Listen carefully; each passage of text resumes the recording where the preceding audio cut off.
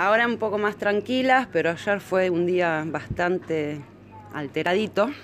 Eh, después de que el chico este nos sustrajo un teléfono celular. Eh, ¿Esto fue el viernes a la tarde?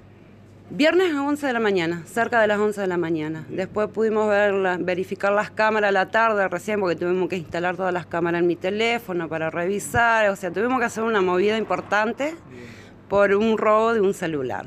¿El chico era cliente de, aquí?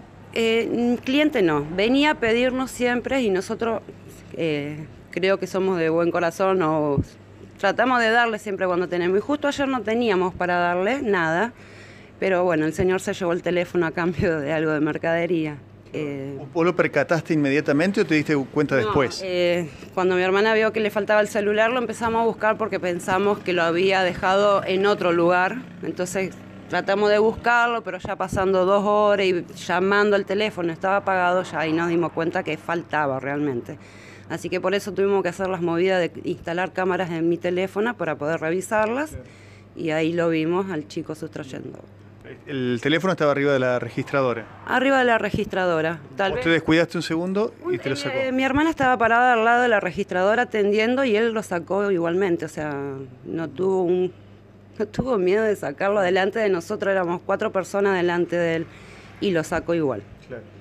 ¿Vos, en algún momento sospechaste que se pudo tratar de él o, ni se te pasó por la cabeza? no la verdad que no. O sea, tampoco vamos a sospechar de los clientes o de las personas que vienen al, negocio, no podemos llegar a ese, pero lamentablemente después de estos eh, tenés que mirar mucho, tenés que desconfiar de las personas ahora. Pero bueno, ya pasó, recuperamos el teléfono vacío, vacío porque lo limpió entero. No sé si... ¿Ya lo había vendido? Creo que ya lo tenía vendido a otro chico eh, lo pudimos recuperar, pero bueno, ahora hay que hacer el trámite de que te den el chip con el mismo número, tratar de recuperar fotos que son parte de algo sentimental, que creo que es lo que más duele. Y bueno, la intención de lo que hizo el chico también, eso duele porque ya no, no se confía más en nadie. ¿Las cámaras las pusieron con ese objetivo porque les estaban robando y ustedes no se dan cuenta? Porque dijeron, no, vamos a tener un mecanismo de seguridad. ¿Hace mucho tiempo la tienen? Y las cámaras hace bastante, hace como dos años, tres tal vez. Es más, este año justamente cambiamos el sistema para verlo mejor, o sea, un sistema mejor. Y bueno, gracias a Dios que lo tenemos.